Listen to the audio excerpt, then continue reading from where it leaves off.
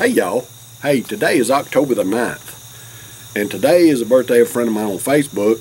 She ain't been my friend on Facebook very long, but I used to work with her. And that's Melanie Dickinson.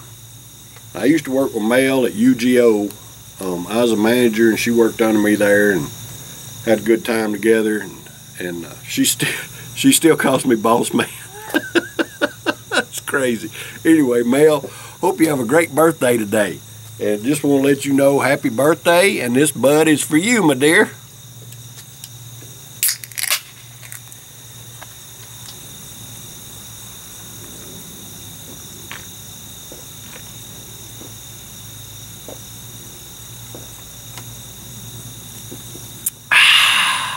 Oh, that's good and cold. Uh, Mel, I hope you have a great day today. Happy birthday.